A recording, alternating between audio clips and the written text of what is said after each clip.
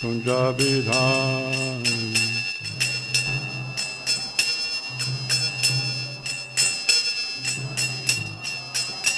Jaya Shri Krishna Chaitanya Prabhu Nityananda Shri Advaita Gadha Vivasa Oh Bhakta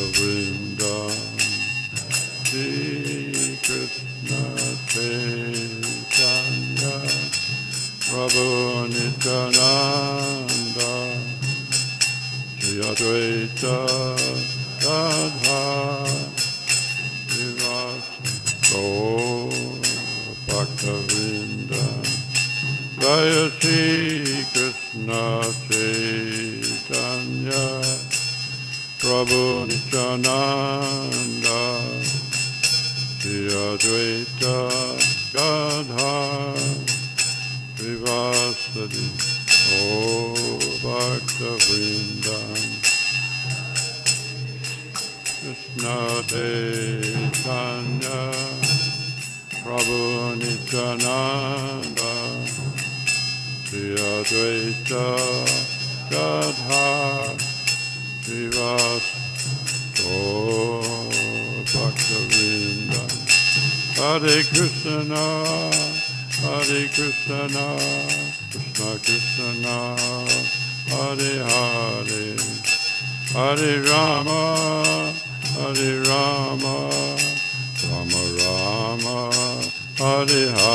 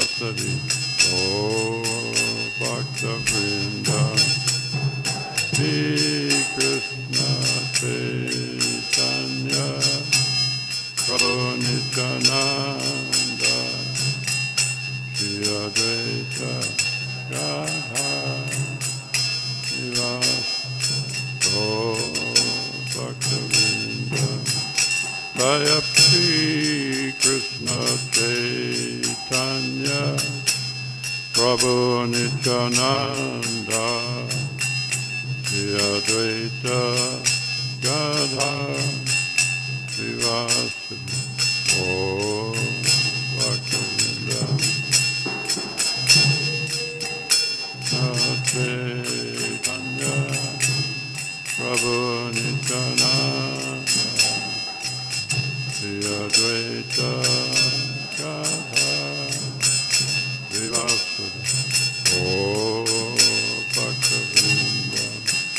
Hare Krishna Hare Krishna Krishna Krishna Hare Hare. Hare Rama Hare Rama Rama Rama Hare Hare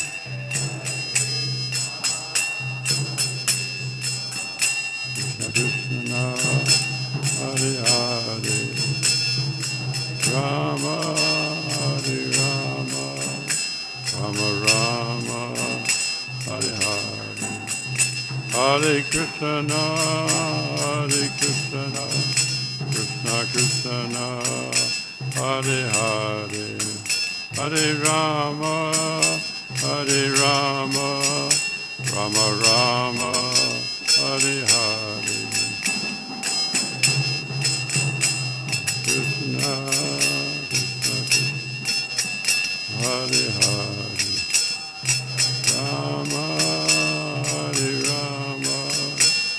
Rama Hari Hari Jaya Prabhupada Jaya Prabhupada Jaya Prabhupada Prabhupada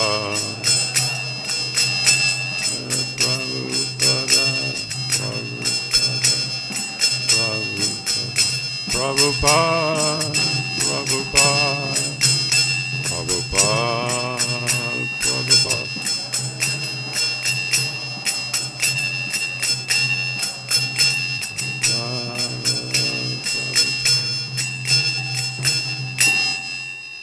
Jayam Vishnupad Padmansa Bhavgacharya Sota Sata Sata Sri Samad Grace Srila A.C. Bhaktivedanta Swami Srila Prabhupada Jai Jayam Vishnupad Padmansa Bhavgacharya Sota Sata Sri Samad Divine Grace Srila Bhakti Siddhanta Saraswati Maharaj Srila Prabhupada Namacharya Sri Haridasa Jai Hermesika Ho Sri Krishna Chaitanya Prabhu Nityananda Sri Advaita Gadadhar Srivasadi Gaurabhakti Ki Vrindam Ki Mayapur Dham Ki Dwarka Dham Ki Munamaya Gangamaya Ki Samaveda Bhaktivinda Ki Sri Sri Radha Madhava Ki Astashaki Ki Sri Panchatattva Ki Sri Lord of Sringadev Ki Srila Prabhupada Ki Go Premanandi all glories of Samala Bodhis, all glories of Samala Bodhis, all glories Sri Sri Guru and all glories Srila Prabhupada. Om Namo Bhagavate Vasudevaya. Om Namo Bhagavate Vasudevaya. Om Namo Bhagavate Vasudevaya. Srimad Bhagavatam, Canto 10, Chapter 1, Text 44.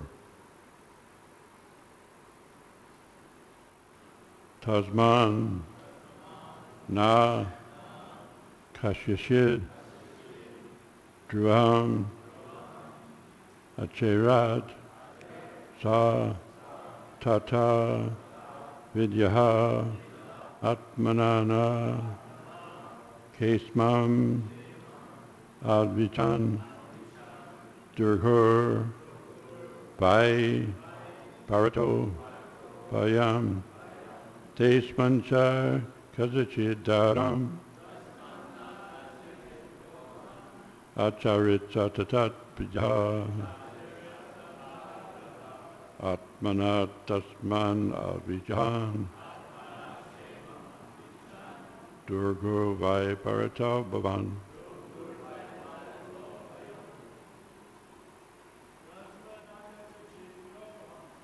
Tasmayan Charichitvaya.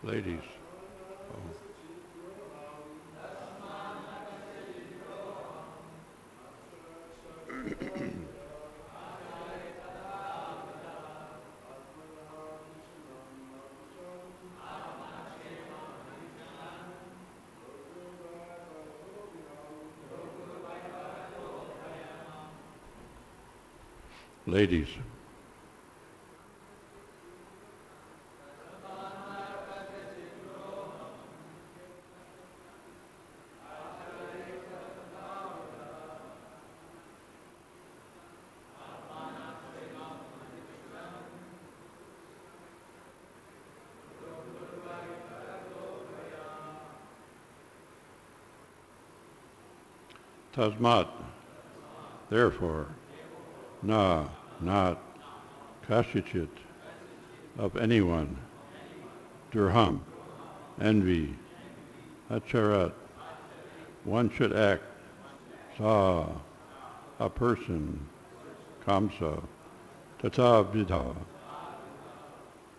who has been advised in such a way, by Vasudev. Atmanaha, his own, Kashmam, welfare, Avichahan, if he desires, Drogyaha, the one who is envious of others, Vai, indeed, Parataha, from others, Vayam, there's a cause of fear. Translation purport by Divine Grace, Srila Prabhupada. Therefore, since envious, impious activities cause a body in which one suffers in the next life, why should one act impiously? Concerning one's welfare, one should not envy anyone, for an envious person must always fear harm from his enemies, either in this life or in the next. Please repeat. Therefore, since, since envious, impious activities cause a body in which one suffers in the next life, why should one act impiously? Considering one's welfare, one should not envy anyone. For an envious person must always fear harm from his enemies, either in this life or in the next. Purport. Instead of being inimical towards other living entities, one should act piously by engaging in the service of the Supreme Lord, thus avoiding a fearful situation both in this life and in the next. In this regard, the following moral instruction of the great, pundit, the great politician Chanakya Pandit is very meaningful. Tiyaj Duriyan Sarigam Vajasadu Madigam Kuru Punam Yad Patyam Saranam Nityam Anityatam. One should give up the company of devils, demons, and non-devotees and always should always associate with devotees and saintly persons. One should always act piously, thinking that this life is temporary, and not be attached to temporary happiness and distress. The Krishna consciousness movement is teaching all of human society this principle of becoming Krishna conscious and thus solving the problems of life forever. Taktiham Panarjanma Natimamata Shivarjuna. Srila Prabhupada Ji Jai. So good moral instruction. Prabhupada's given us a direction for life and how to be successful in life is always think of Krishna. Never forget him and never act envious or impiously or associate with any people of that kind. But unfortunately, the world is 99% of envious, disranged demons and um, not uh, the Krishna consciousness is certainly spreading around the world. But if you take the ratio of the human society and, and how far we are from conquering the entire world, uh, we're just beginning. Now it's predicted, of course, that the movement will take over government positions and become the excelling, excelling movement around the world next 10,000 years. So there's big strides going on all the time. New temples opening and new devotees taking initiation and people becoming more friendly. But the past is something that we don't talk about much in Krishna consciousness. The forerunners of our movement had to go through some heavy austerities. On one occasion, there were two devotees cursing each other, taking out their threads and breaking their threads and cursing each other to fall down. So guess what happened? They both fell down. so anyway, we don't want to do that. We don't want to break our thread and curse anybody. You can break your thread and curse yourself to be a devotee. That's impious. We don't do that either. So Krishna Conscious Society is a saving grace for the whole human society. And uh, we look on the activities of Vasudeva and his sister and understand that envious people are there from the very beginning. The history of society is one of wars and envious nature of people hurting each other. And so Prabhupada given the solution for peaceful society And in Chicago, he gave instruction to the lieutenant who was in charge of the public relations for the police department. Chicago is noted for crime, starting with Al Capone and others. So in any case, the crime rate in the world has dropped. Ultimately, there's not as much crime. I can bring it closer. There's not as much crime going on as there was before our movement started. Um, I joined in Miami, but I was in New York and I saw Prabhupada on the street in 1966. And I had no idea where this whole thing was going. And finally, when I did become associated with the devotees, it was like finding a, a new, finding like deja vu, finding something that I experienced in the previous life. How many have had that experience? One, two, three. So you were recognizing that you were here before, but all the faces are different. So that's basically what happens to most devotees in the beginning. They are associating with Prabhupada and brought here from the spiritual world to associate and to accelerate Srila Prabhupada's movement. We're all part of the whole deal. That actually Prabhupada gave us a mercy for the next 10,000 years. We are the recipients and the uh, givers of this kind of mercy, persuasion, tolerance, uh, uh, understanding, and transmission. So the way we transmit this philosophy is really important. We're not to associate with all these demons and envious people, but what to do. And Prabhupada says we're, unfortunately, we have to preach and associate with them to some degree. I remember first book distribution, I was told actually, if you don't give a book to a person, he misses the whole 10,000 golden years. He goes back in the in-breath of Mahavishnu. That means millions of years you'll have to go back and maybe take an animal birth and ultimately miss the whole Krishna conscious society imprint on human behavior. So therefore, one must do that. One must give books, to preach, and give out the philosophy in any means possible. So for my own direction, I'm doing that in making new books, illustrated, with many paintings and new visuals. And Prabhupada give that to the first artist, and I was one of the first ones to join the Bhagavatam series, or CC when it was first starting.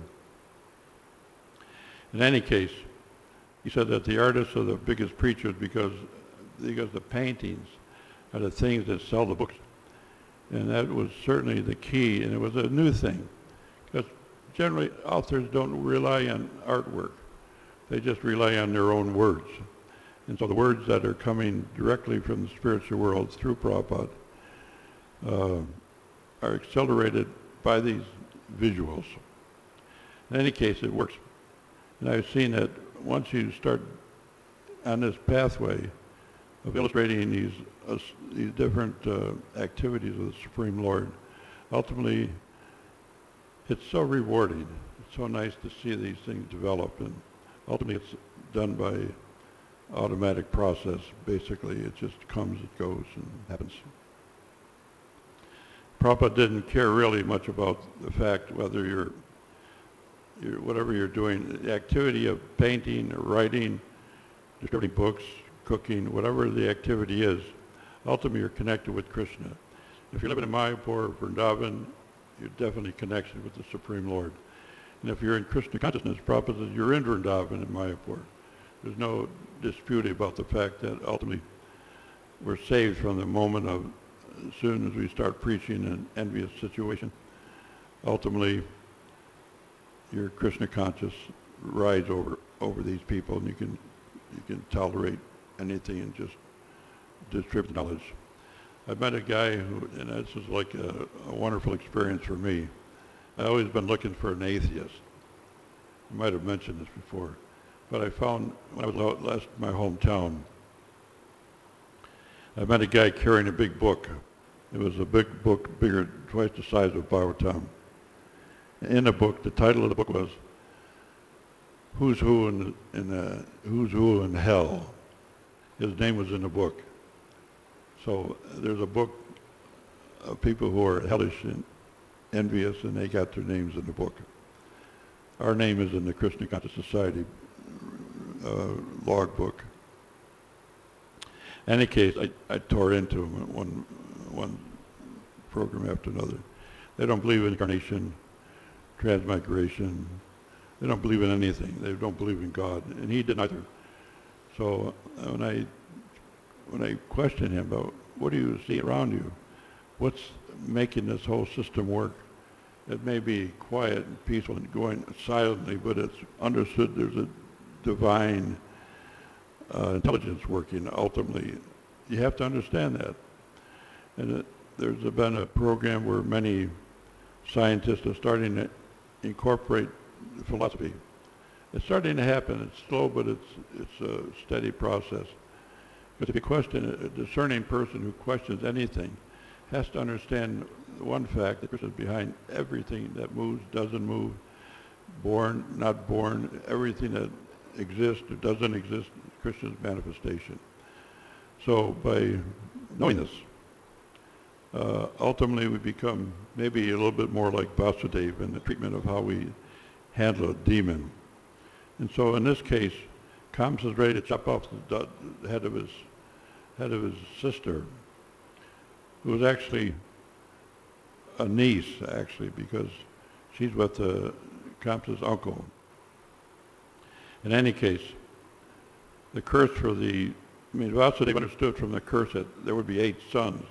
So he knew beforehand that he had a job to do, that he was going to be able to bring these, these babies into the world. And whatever the karma was, it would take place ultimately anyway. So karma is the, the position of, of why people are understanding a little nature about what happens in the, in the material world. That by the results of karma, everything takes place. One of my cousins had a little girl who was hit by a truck. And he was here recently trying to understand a little bit about the movement.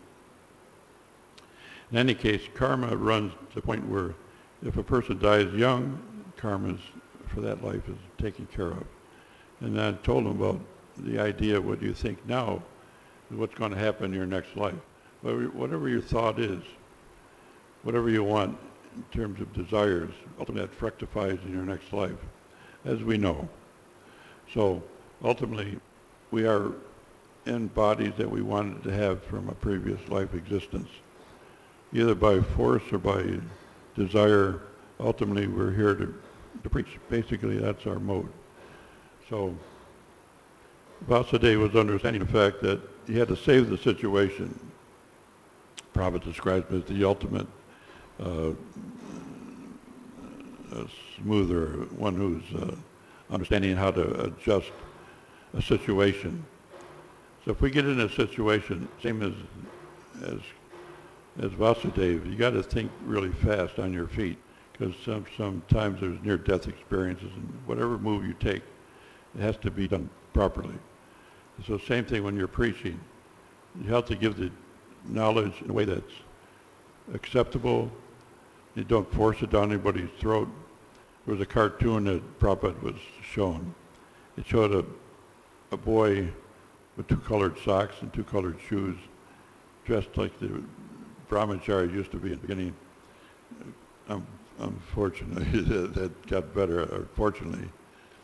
So in any case, it shows a guy, devotee, given a book, and there's a scuffle, a big cloud around it.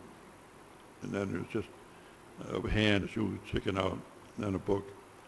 And the next picture, the guy's got the book shoved in his mouth. and the boy, the boy's walking away counting the money. Probably got a big laugh out of that. He thought that was really funny.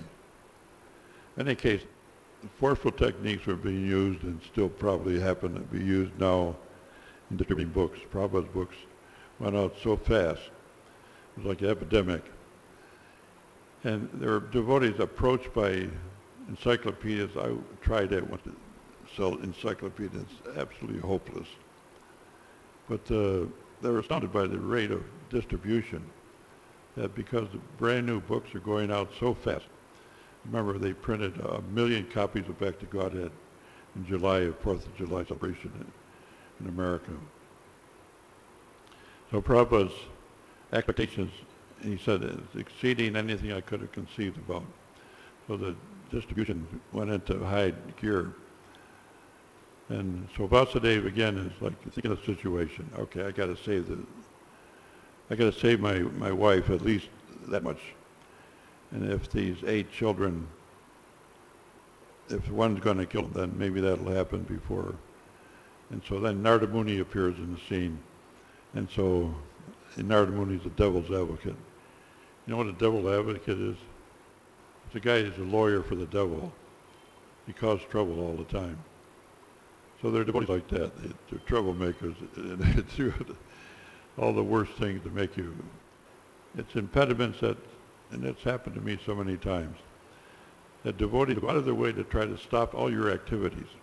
If you're anything creative, or whatever your association is with the Lord, whatever you're doing as Krishna conscious activity, there'll be somebody to try to trip you and make you fall. It's just the nature of the game. Like Prabhupada says here, uh, whatever activity we do in this life will become what happens in the next life. So we carry that with us. Whatever we were in a past life, it's something that exceeds the limit of a devotee's activities and your condition to a certain degree. It's like Prabhupada gave the example of the fan. You unplug it, but still moving. And so the same thing with our material activities. It's still moving around slowly. Gradually it takes, Prabhupada was asked how many years does it take, how long does it take before your activities purify? Satsvarup asked a question to Prabhupada. He said, seven years. Seven years means activities and Krishna consciousness will, and chanting will overpower all karma and all activities from our previous life, lives, more than one. All our previous times in different material bodies. So therefore, like Prabhupada's saying here, do it in this life. No impious activities, no envy. And unfortunately, I noticed that in the early years, there's so much envy and and people causing so much trouble. And I, I was a brand new devotee, and I understood a proper new ESP, communication with the mind. So we were giving him a tour of the Dal studio in Los Angeles, and he's standing right next to me. Without asking, I just put that thought in my mind. Srila Prabhupada, I thought I joined a religious organization. What's happening here? There's so much criticism, backbiting, and knife stabbing in the back. What is going on? I thought this was a religious movement. Prabhupada looked at me, smiled, and waved his head back and forth. And the message came, you'll see very soon. He didn't say it, but it came through my brain. Two weeks later, I could fi- I found out that all our leaders weren't chanting. They had the beadbag as a hand warmer and the decoration, but not chanting. Prabhupada knew that. He understood the problem with our society is my leaders aren't chanting. They're not following the program. And so they fell down one after another. So many sannyasis left the movement. I asked Panavisa, um, how is it you got so close to Prabhupada? And he said, well, I understand what Prabhupada wanted. He wanted books out. He wanted to do temples, and I just followed the pattern of what I knew he wanted. And so I did that. And I report back to Prabhupada, and I got the communication with him. And I asked him for sannyas. Krishna was getting sannyas, and others, were, his friends were all becoming sannyas, sannyas candidates. So he said, okay. He kept insisting. And by the time he was ready to take sannyas, Prabhupada gave him the danda. Said, here you are, I hope you can maintain it. I have some doubt. And sure enough, of course, you know. So nothing worse than falling down from a high position from sannyas or guruship. We had our experiences, our movements growing, and growth pains, ultimately we have to progress beyond the negativity and just think positively and act piously, as, as we find out here. Now, Vasudev saved the situation. I mean, Kamsa was very favorable beforehand. And so ultimately, he was driving a chariot and he was happy enough to deliver his sister to their new home. But then when that voice came, ultimately it changed everything. So he was ready to cut her head off on the spot. Narada Muni, as the devil's advocate I was mentioning, he accelerated the activity because he wanted Kamsa to get more sinful activities under his belt so that Krishna would come before as soon as possible to solve the situation. Because ultimately, Mother Bhumi was approaching because of all the impious activities and the demons on the planet. Now today is not much different, and our movement is the the sharpened sword to stop all this. I mean, it, it, about, I mean, there's no government without demons running it. And so that's nature of the politics that people rise to a situation and they reveal who they are. Ultimately, power is, is uh, distributed amongst the demons first. Just as the nectar was supposedly going to be given to the demons, Mohini Murti gave it to the devotees, the demigods. So same thing here. We are in a position by which we can do something to change society. And think about it. Any way you can do it creatively, any way you can do it in your preaching, anything you can do in any way possible to make this movement grow and prosper and affect more people is important. So back to Narada Muni. Okay, so he approaches Kamsa. He says, well, you know, because he gave away the first baby, went back to Vasudeva. He was still waiting for the eighth child to, to appear, and he was waiting. He's going to let all that happen periodically. In any case, Narada Muni said, listen, any one of these children can be Vishnu incarnation, so you better take care of that. So he started killing them all and killing all the other babies that were born at that time. The demon can do anything. They can do anything, even kill their mother, father, brothers, as different politicians and kings have, have led the way in demoniac nature. So if we still have remnants of anything impious or anything attaching from previous life, just chant. I mean, I've been asked a question, how do we improve my Krishna consciousness? And so the answer is go deeper, chant more, go deeper into your realizations, go deeper into your study and reading, go deeper into your act of serving Srila Prabhupada, and ultimately you come out really on top of the whole situation. And Krishna will help us accelerate the program of our Krishna conscious uh, passage through this material body. So the I was understanding that uh, there's a backing on these cursing goes on in, in almost everybody from there's a situation a study done by psychologists and people who do um, rebirth not rebirth but uh, uh, reading trans transmigration of the soul, going back in their bodies and previous incarnations of different births and to understand why they got the body they have. So ultimately, almost everything that was found out was all about cursing, like these two devotees curse each other. The cursing works, so we don't want to fall into that trap because ultimately it rebounds like a boomerang. Sometimes a cursing could take place and give it a heavy reaction. So, so Vasudeva saves the, saves the day, but then Narada Muni stops the whole trip and causes the problem to fall down. And so these six first kids, Kaumanidi was was common, uh, was uh, Hiranyakashipu's next birth, and then Kamsa, and then uh, ultimately go back. So Kaumanidi had six six darbas, I might have mentioned this before, but it's interesting the background on, on killed, kids being killed. that they were cursed from a previous life by Kalmanidi because the sons asked the benediction of Lord Brahma to, to get the benediction of what Hiranyakashipu had, their, their grandfather. And so when Kalmanidi found out about it, you transgressed my position, went over my head, now you're going to die by the hands of your father, your next father, which is Kamsa.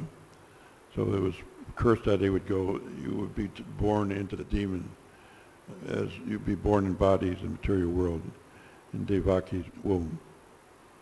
So there's six of the kids that were destined to die instantly, but it was all by the hands of their father. So as the story goes on, um, this whole envious situation, I'll tell a story that's interesting.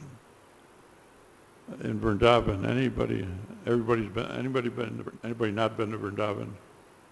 Never been to Vrindavan. It's only a couple. In any case,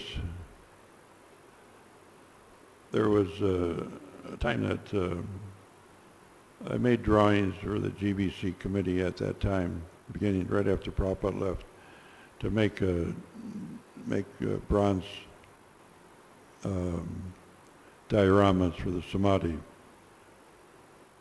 Sab, Sarab Maharaj approved it. He's another special case where he designed everything from scratch and then ultimately comes back to Vrindavan and dies the next day. So we're liberated in these bodies as devotees. So in any case, I was trying to make these these uh, dioramas in relief form, bas relief. And a devotee next to me, we're having a meeting about how to do it. So it used to be Sarab and I doing all the design work for the samadhis, both here in Mayapur, or both Mayapur and Vrindavan. In any case, then it, after they left, Sarab and Gunarnava left the, move, left the movement or left Vrindavan, and the whole thing stalemated. And so then, after some years, I think three or four or five, maybe five years went by, nothing happened. And so suddenly two vultures landed on top of the Samadhi in Vrindavan. I called up the temple president and I said, look, we got to do something. We got to stop this activity of inactivity and start the Samadhi and get it over and get it finished. So in any case, it, it did start again. It was called Samadhi Now. I designed a poster for it, gave the name. And so Samadhi started, the activity started. I'm working on a book on that, background of the Samadhis and how it came to place and how, how much envy there was in the beginning of this. I mean, best, the best we can do, if you're hankering for a high position, you want to get to the top of the line. Ultimately, you're in danger already. If you kick back and you like you try the best you can do with what you have, ultimately you're in better shape. There's no envy. And whatever you do, do it quietly because someone will try to break your head. So I did these panels. And the first time I did with half, half the body of Prabhupada, all in Prabhupada, of course. Then they wanted, I had to redo it, make a full body. Then I had them ready. I had five lakhs given from Bombay. And so the money went into a truck a car for the Samadhi, new management. So I went on, I got five more lakhs. And I started and I did it independently. And ultimately the devotees kept looking at us, how's the work going? We didn't know what we were doing. Bronze is a brand new looking, brand new look. Any case, we hired an expert in the field and we started casting. And so there were five, five casters, there were bronze casters in India here in Vrindavan camp. And so they all came to see the first pour. Now, if you know anything about bronze casting, you're heating up metal until it's white hot and liquid and liquid. And so generally in industry they have asbestos suits and thick boots in case one drop of that white metal touches your skin, it go right through your body.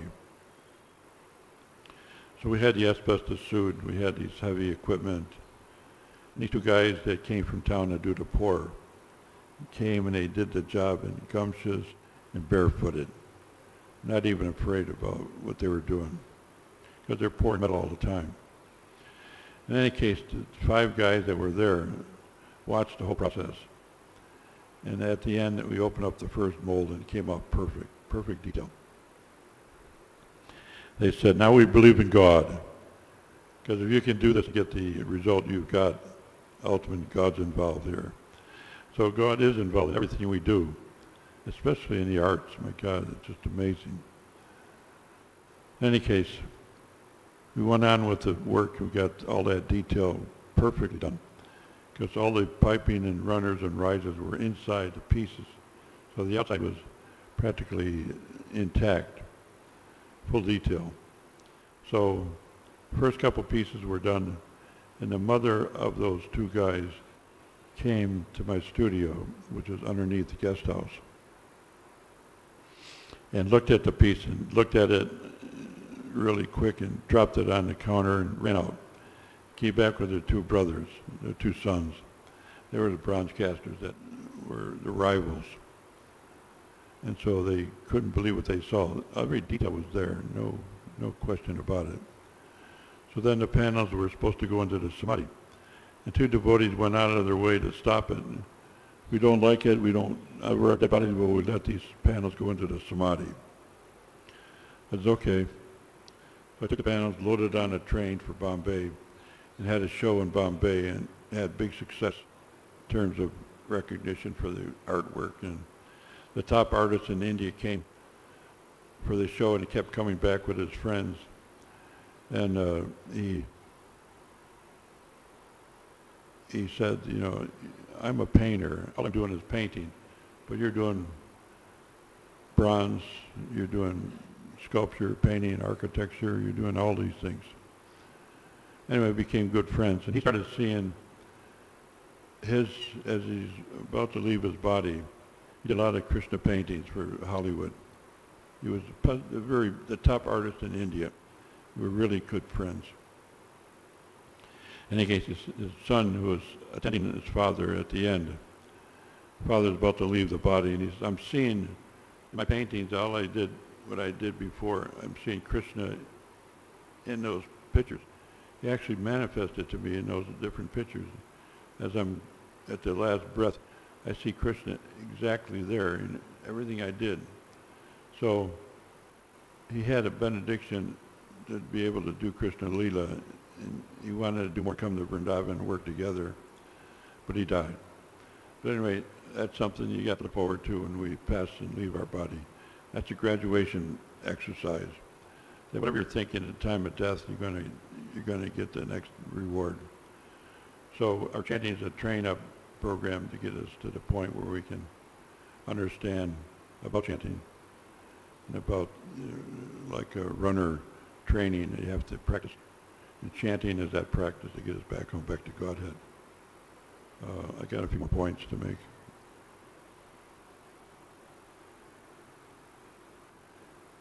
Um,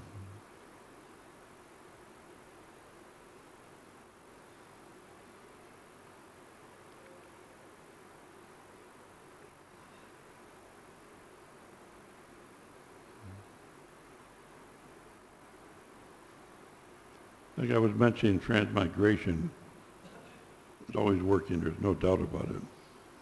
And then at Carmi, they asked me one time, and Prabhupada was asked also about the same thing. Is there any sex after death? And Prabhupada, of course, there's so much.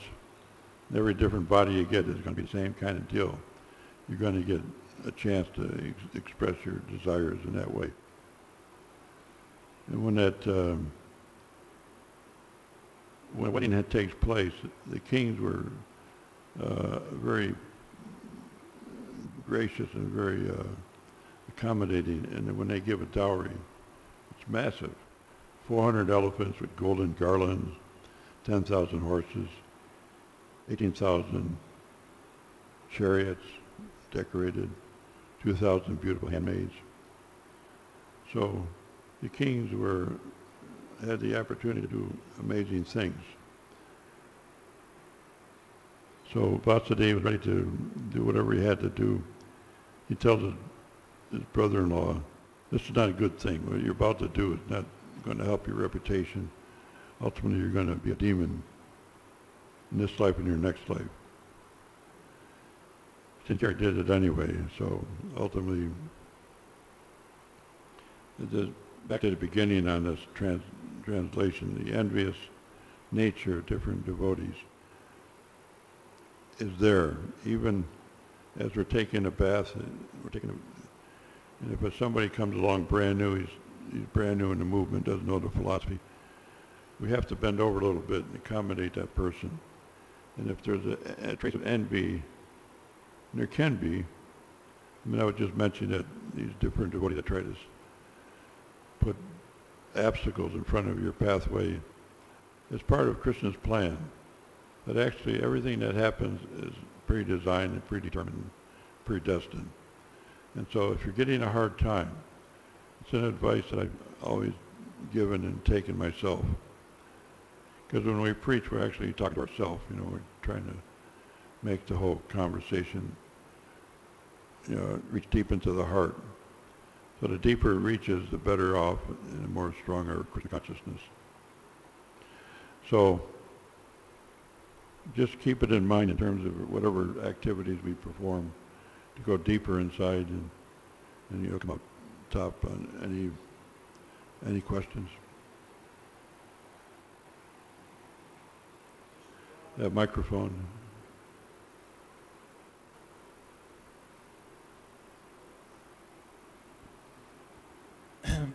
In the beginning of the class, you were mentioning about the artwork in Srila Prabhupada's books. I just wanted to relay some story about it. in the very beginning of my Krishna consciousness career, I was allowed to go to the airport like a couple weeks in and distribute books. And what I put in my bag are books that I had never seen before. So when I would pull it out and show people, I didn't know what to say about the book. I didn't have my lines down yet, you know, my clever lines. So I would just open up and look at a picture. And every picture I would look at, I go, whoa, look at this. Wow, look, ah, that's so amazing. And I, I would describe the picture. And then people would be looking at me and thinking, he's really excited about this. Look at that. I mean, he's every picture, he's just like he's getting off on it so incredibly. And it It's actually, contagious. it was the best sales thing I could have possibly done is simply show the pictures because the pictures tell a story. There's a famous line. Every picture tells a story. So Prabhupada's books were, spec- he was very specific in what he wanted in there. And he, once he approved them, he didn't want them changed as all, as you know. So Yeah, these are story. very special uh, artwork. Rameshwar and, and Radha Ballabha, both of them were talking to Prabhupada about changing the pictures. And he got so angry. I mean, he was furious. He's banging on the table saying, you don't, you're ruining my books. You're a bunch of demons and you're going to destroy everything I've done already. Don't change anything. I mean, that's just the pictures, not the words. Oh my God.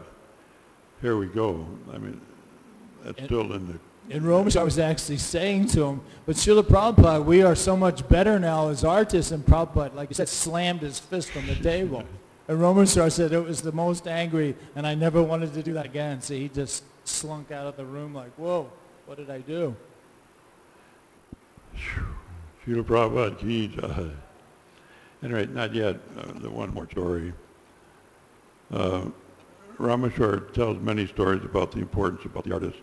And Prabhupada said, I don't care what kind of writing you do as long as you're writing. He was talking about the painting. Because Charles Haas and a few others are trying to get their books, their paintings into the book. And, and so it's, it's not important. The activity is the importance. That you're doing it. You're painting for Krishna. And ultimately, you go back home because of that, for sure. I got transferred into the Fate organization. And uh, we were making all the new dioramas and Papa wanted, like his spiritual master, dioramas are very important for preaching. But the book is worth a thousand, a picture is worth a thousand words, a diorama is worth a thousand pictures. And so we thought like that, and we were making new dioramas, new artwork. And Prabhupada was very pleased with the whole, the whole ex- but he wanted one diorama a day. We couldn't do it. We couldn't. It wasn't possible. But it was a training program, and ultimately, we get trained up in different ways. Donovan had his Bhakta program starting, the first one in existence, and ultimately, new devotees were coming and staying some and some going. So, but the uh, books are the basis, and Prabhupada changed the world by writing these books. We're so fortunate to have the books, so fortunate to be here, so fortunate to be devotees, and so fortunate to go on in our Krishna consciousness. And so, while we still have life left, life still have energy and life left in us, uh, it should be directed toward helping others.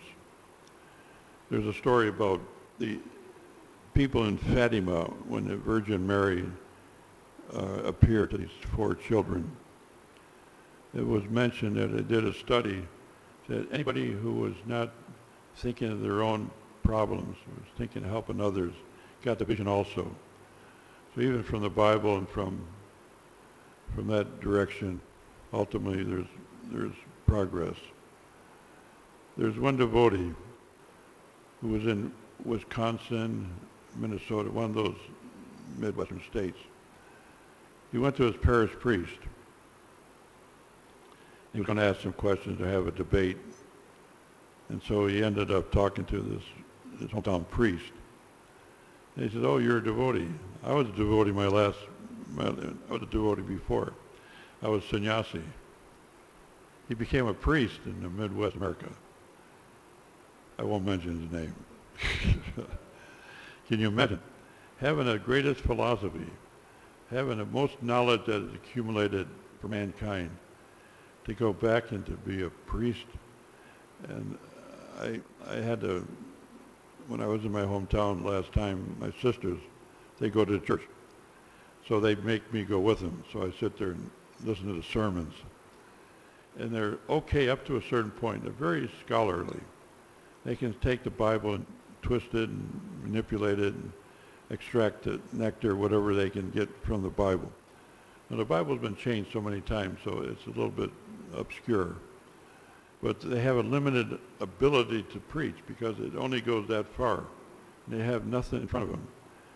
They had sessions later about how to expand Christianity.